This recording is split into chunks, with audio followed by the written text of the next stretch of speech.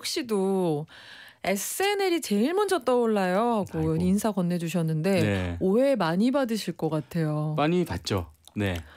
뭐 사실 그 네이 아유 그뭐 검색창에 음, 네. 찾아보시면 왜 이제 왜 이러죠 제가 찾아보시면 영화 배우 김민교라고 네, 네. 뜨거든요. 네. 근데 많은 분들이 개그맨이시죠 이렇게 인사 건네나요? 많이 그러시죠. 음. 처음에는 약간 섭섭할 때도 있었어요. 맨 초, 초반에 어 나는 그 이제 말하자면 연극도 되게 오래 했고 음. 영화도 생각보다 편수가 많아요 제가.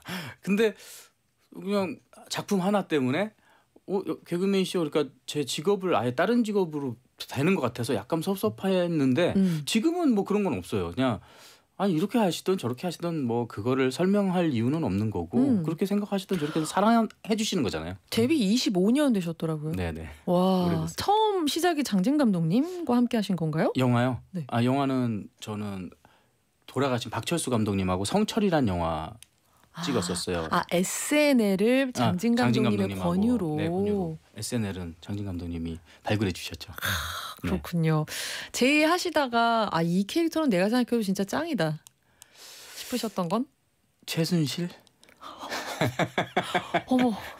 그리고. 에나벨 뭐 많죠. GTA 그 게임 캐릭터 했던 것도 네. 너무 많은 분들한테 사랑을 받아서 근데 그런 거는 방금 말씀해 주셨던 기억에 남는 캐릭터들은 네. 분장 없이 이렇게 오디오로만도 네. 딱 보여주실 수 있나요?